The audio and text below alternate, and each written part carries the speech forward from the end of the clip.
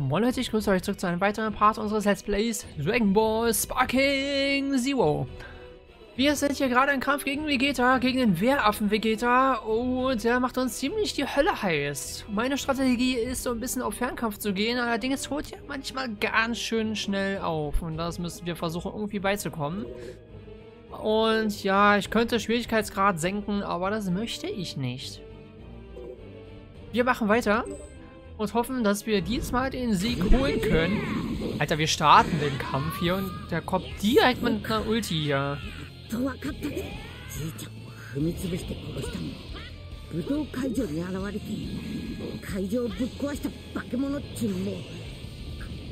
Bam.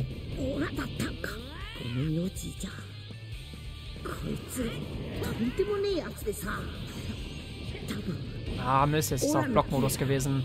Hm. Was? Das hat's getroffen? Okay. Hey, wieso habe ich jetzt nicht abgeschossen? Frech.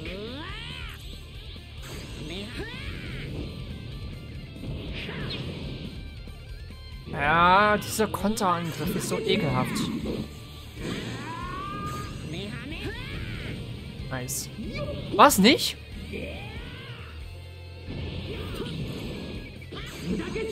Oh oh. Okay. Oh, der hat so ein Skill, wo er sich direkt hochpusht. Oh, das ist ja eklig.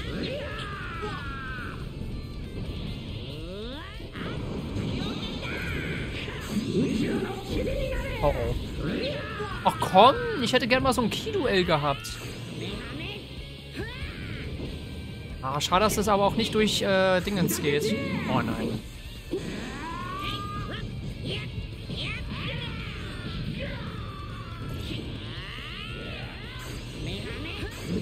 Oh! Oh.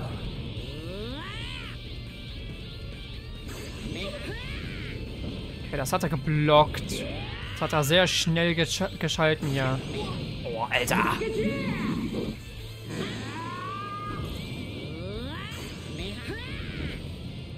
Okay, es wird nicht einfach. Aber gut, was ist hier schon einfach? Ich werde sowieso gleich wieder sterben.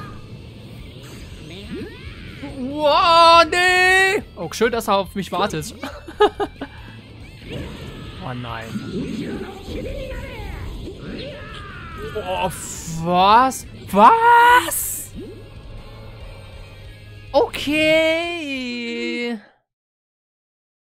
Alter, das ist brutal! Boah, vielleicht mache ich doch irgendwie mal auf einfach. Keine Ahnung. Ich bin noch nicht so fit mit der Steuerung.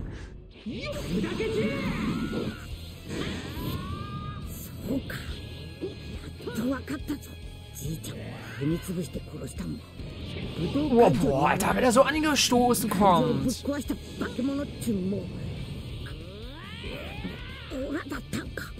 ごめんよじいちゃんこいつとんでもねえやつでさた多分オラの気 Okay. 全部使い果たさねえと勝ち目なさそうだ Was? Ich habe mir, mir Haar reingeklatscht. Och, Mann. Ja, es liegt wahrscheinlich an den Controller, den, den ich ja auch habe. Ah, au, au, au. Controller Drift, dieses Game? Oh, das wird brutal. Vor allem, weil Steuerung genau mit dem linken Stick äh, auch diverse Angriffe getätigt werden. Wenn ihr so links schaut, ja, ich muss linken Stick hoch und dann äh, Dreieck zum Beispiel drücken. Und wenn dann der Drift sagt, ja, ich muss gerade mal lenken, kommt plötzlich eine ganz andere Attacke rein, als ich eigentlich will. Das ist sehr unangenehm. Wo will der denn hin? Oh Mann, ey.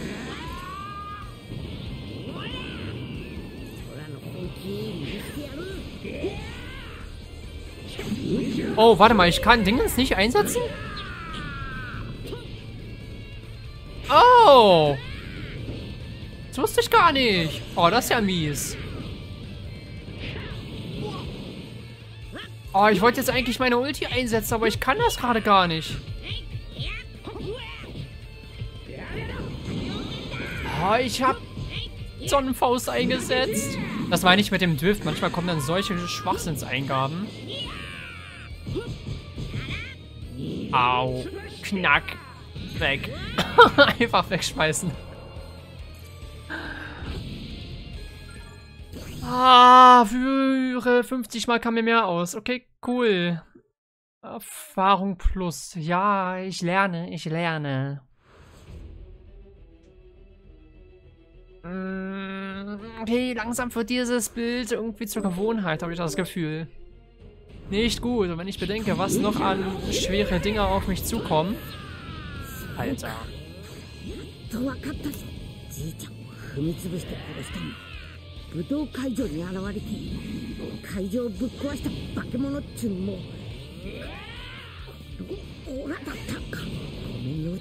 Ja, ich hab Dingens. Ich sehe nichts!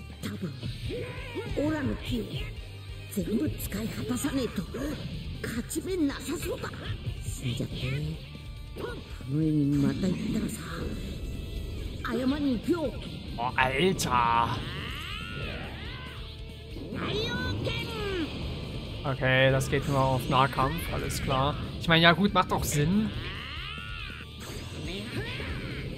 Ah, das blockt da.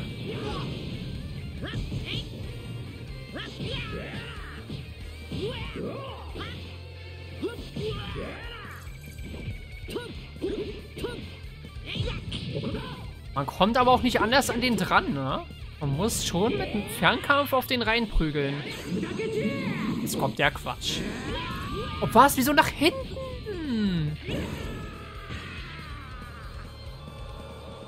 Mein Controller ist so im Eimer.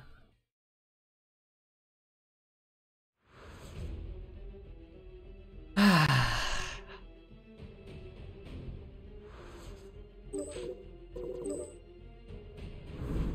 Frech. Frech. Hat er mich gerade getreten? Wie wär's mit Fliegen? Alter. Hallo, Steuerung. Steuerung sagt jetzt gerade komplett nein.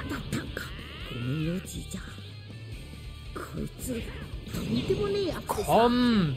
Das kann jetzt nicht sein.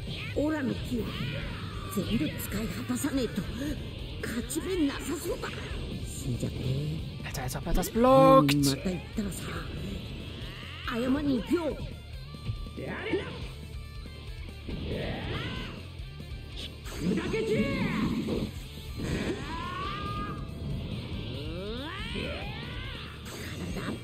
Ah, schon wieder das Falsche. Der Drift, ey. Ich sag's euch, das liegt an Drift. Es ist ja ziemlich eindeutig, was man hier machen soll. Als ob er das aus der nächsten Nähe geblockt bekommen hat.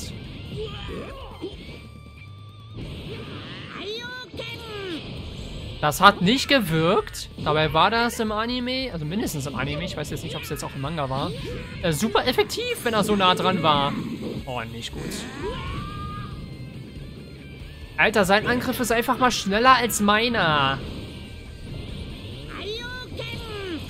Das blockiert er! Okay, das macht keinen Sinn. Weil wie gesagt, im Anime war das absolut key.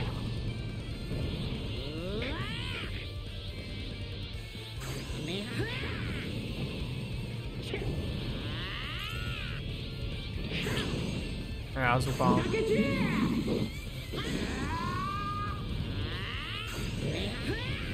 Da wie schneller blockt? Au. Okay.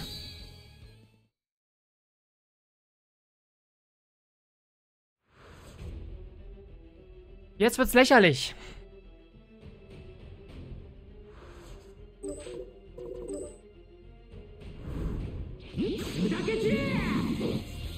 finde ich das total unfair.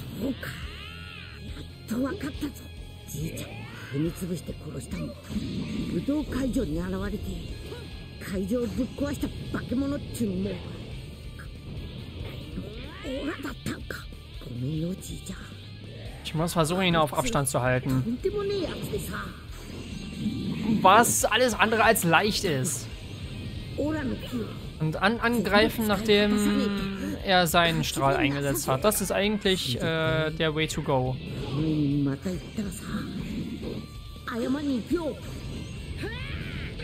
Und dann auch gar nicht groß auf Aufladen gehen, sondern gleich abschießen.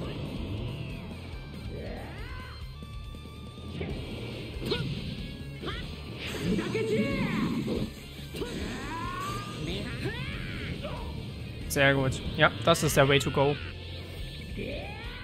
Okay. Das heißt natürlich weiterhin ein bisschen auf, Ge Aua, auf Geduld spielen. Der Schadensmodus ist schon echt gut. Sehr schön. Na, komm. Schieß deine nächste Kanone ab. Aua. Oh, das ist zu dicht. Okay. Rein in den Rücken.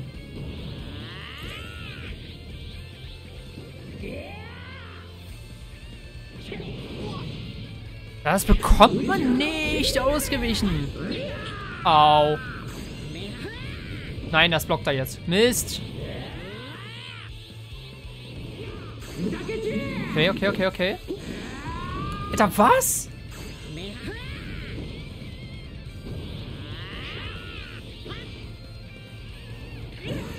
Oh, nicht gut. Hatte gerade keinen Dingens aktiv. Aber wir haben es geschafft. Okay.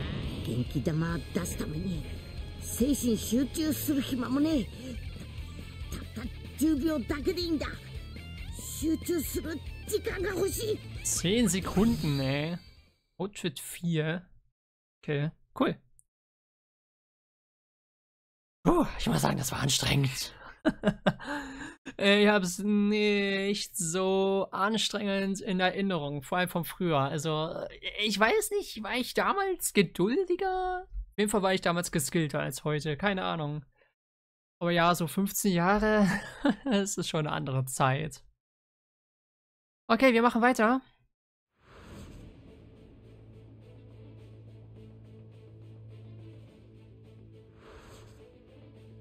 um sich die benötigte Zeit zu verschaffen, setzt Goku seine Sonnenfaust, also die Taioken, bei dem Werfer ein, der ihm gegenübersteht.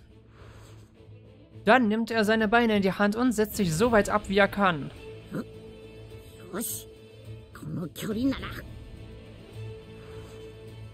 Er sammelt ein wenig Ki von allen Lebewesen auf der Erde, um einen letzten Schuss abzufeuern, in der Hoffnung, die Dinge zu wenden.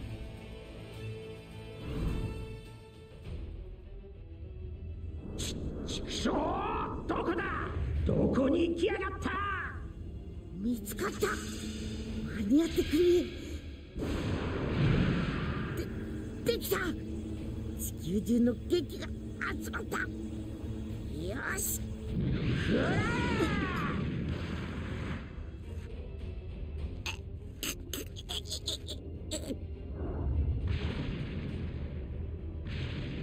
Gleich kommt der große Fuß. これで終わりだカカロットたとえまた生き返ったとしてもその時にはもうこの星はない。死ね Okay. いいたちの最後べってやつだ。ここれでオーラにゃ鼻くそをほじる力も残っちゃねえや。す好きにしろ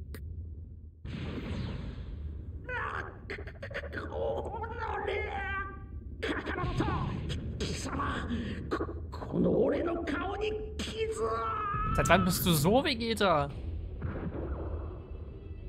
Es kommt bestimmt le- die ultimative Quetsche, richtig? Ja. Aua. 握りつぶしてやら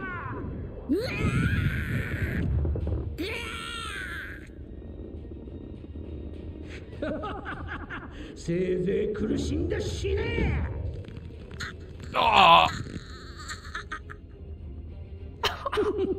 今のでずいぶん骨が折れたようだな。痛いか？え？何か嫌がるな。どこだ？こっちだ。おお父さんを離せ。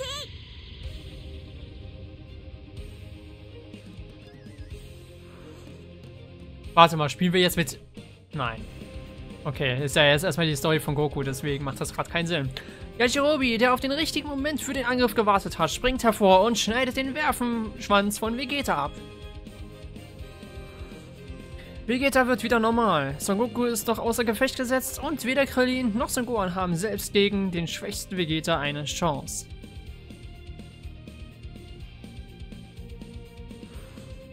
Son Goku ruft Krillin an seine Seite und vertraut ihm die Genkidama an. Es bleibt nur noch, auf eine Lücke zu warten, um sie einzusetzen.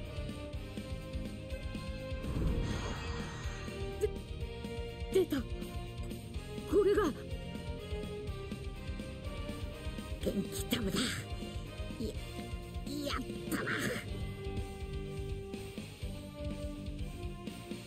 何やっとんだにゃバカ野郎早くそれやってまえ何あのバカクソだね Und einmal drüber, ru- rüber weghüpfen. Sportlich. 羽形成ご飯そいつは味方だにゃー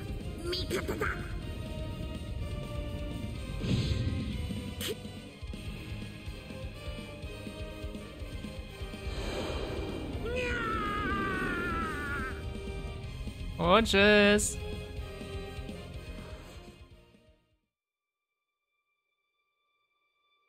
Äh, hups. Moment, dieser Übergang kam weird. Vegeta überlebt die Genkidama. Durch das Licht von Vegetas keinem äh, kleinem falschen Mond verwandelt sich Son Gohan in einen Werfer und bringt ihn weiter in Bedrängnis. Krillin steht kurz davor, Vegeta zu erledigen, aber Son Goku sagt ihm, dass er ihn gehen lassen soll. Son Goku sagt ihm, dass er... Ja. Der knapp den Tod entronnende Vegeta verlässt die Erde. Nachdem sie jetzt vom Planeten Namek erfahren haben, glauben Krillin, Son Gohan und Bulma, dass es dort einen neuen Satz Dragon Balls gibt. Da Son Goku mehr Zeit braucht, um wieder zu Kräften zu kommen, brechen die drei ohne ihn zum Planeten Namek auf. Okay, damit ist die Saiyajin-Saga abgeschlossen. Und wir haben Yajirobe freigeschalten. Benutzerdefinierte Kampf, 2D-Schnitte. Son Gokus Saga Saiyajin Arc Fotosammlung. Okay, cool. Und nochmal extra Kohle. Uiuiuiui. Ui. Son Goku Saga, Son Goku Saga. Ja, okay. Es, es funktioniert ja halt ein bisschen anders, ja.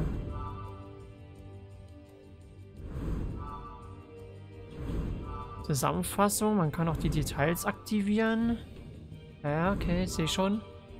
Fähigkeit, Episodenkarte mit R2. Hm. Ah, hier ist es mit diesen Wegen. Überlebe eine gewisse Zeit. Ach so. Ah, ich finde es ein bisschen langsam, muss ich sagen, hier zwischen diese Dinger zu switchen. Aber ich finde es generell trotzdem mal irgendwie ganz cool gemacht. Aber ja, es ist langsam. Vielleicht kommt da noch ein bisschen Performance mit einem der künftigen Patches. Das würde ich mir wünschen. Oh!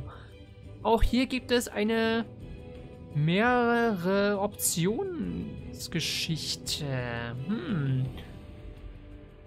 Episodenkarte. Ah ja. Ah, okay, hier kann man das doch mal einsehen. Okay, cool.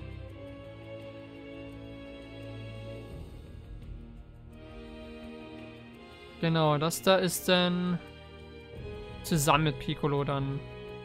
Ja, da müssen wir nochmal irgendwie schauen. Aber erstmal will ich mal ganz normal die komplette What-If-Geschichten mal abfrühstücken. Das würde ich mir auf jeden Fall so wünschen. Aber ich würde sagen, wir gehen jetzt erstmal zurück. Ich will mal ganz kurz gucken. Storykarte, Vegeta, Goku schwarz. Warum habt ihr nicht Black genannt? So wie es auch im Anime, wie es im Manga und überall ist. Freezy, Piccolo, Gohan, Vegeta, Son Goku. Okay. Charakter Intro. Ah.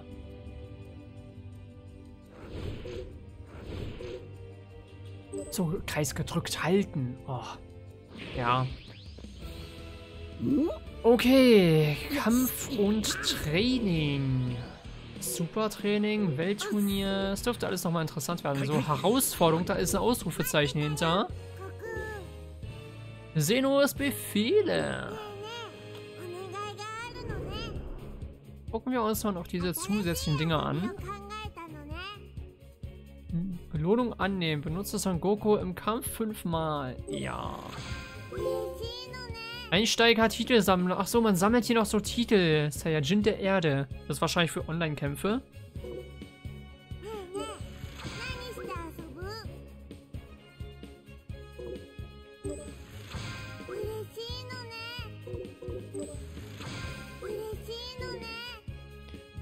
Man kann auch gleich alle gleichzeitig annehmen, was vielleicht gar nicht so falsch ist. Okay, Soroku sie früher Silber. Krillin Silber, Super Angreifertitel. Okay, okay, okay. Ähm, irgendwie ist das noch nicht ganz richtig.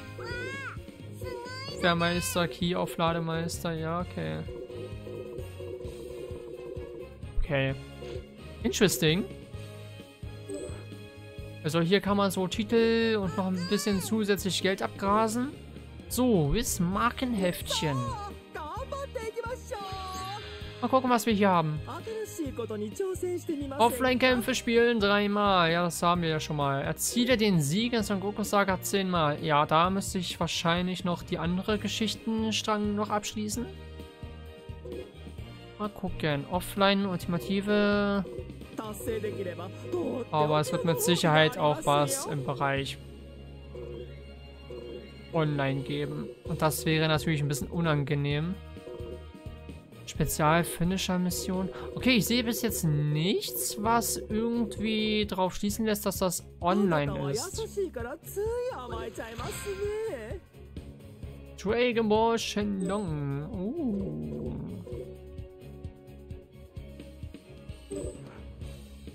Okay, cool.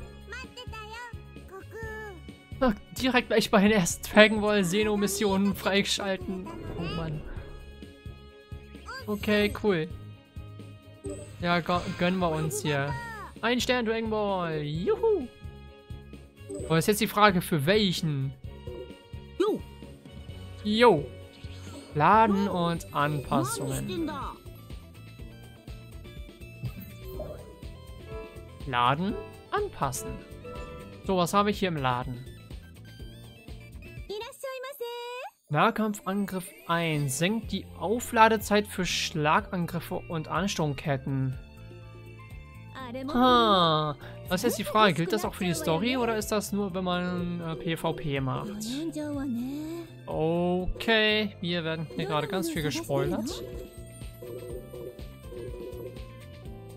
Okay. Oh, Lone Wolf, let's go.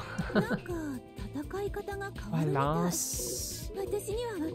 Okay, das hat was für den Computer zu tun. Okay. Ja, gut. Darum kümmern wir uns mal später. Spielerkarte. Quasi das, was man bei mir dann wahrscheinlich sieht, wenn man online spielt. Ja, Stufe 2, genau.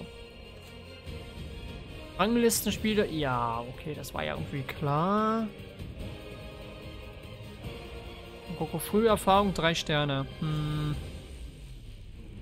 Spielzeit jederzeit. Episodenkampf, Lieblingsmodus, Hintergrund und Lieblingskarte Namek. Ich komme da jetzt gerade erst hin, aber ist okay, cool. So, ah ja, Lieblingscharaktere. Hm. Titel bearbeiten. Ja, nehmen wir ruhig. Killzeit. Äh, bräuchte irgendwie was hier zwischen, aber ist okay. Episodenkampf. Ja, Episodenkampf war schon cool. Hintergrund, Lieblingskarte. Namek, offenes Feld, Bergland, Stadt. Gibt's irgendwie so Wald? Oh, Insel klingt vielleicht noch ganz nice. Inselnabend. Hintergrund.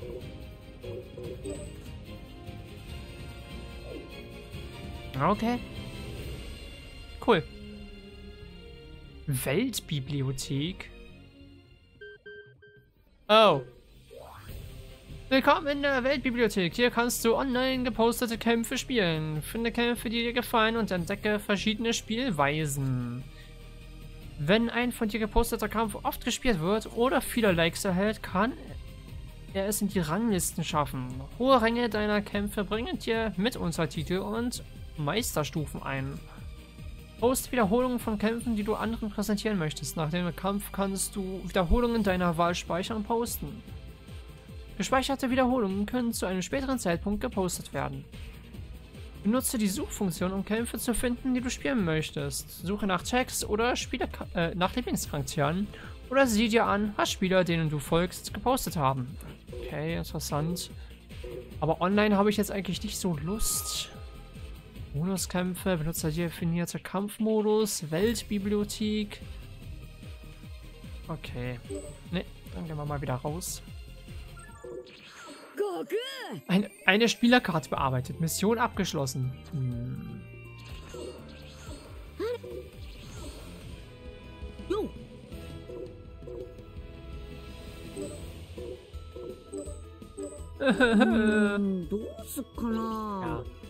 Okay, auf... So, dann kommen wir direkt zum Bildschirm für Titelbildschirm, okay. Ja gut. みんないるじゃね ちょっと覗いてみましょうかビルス様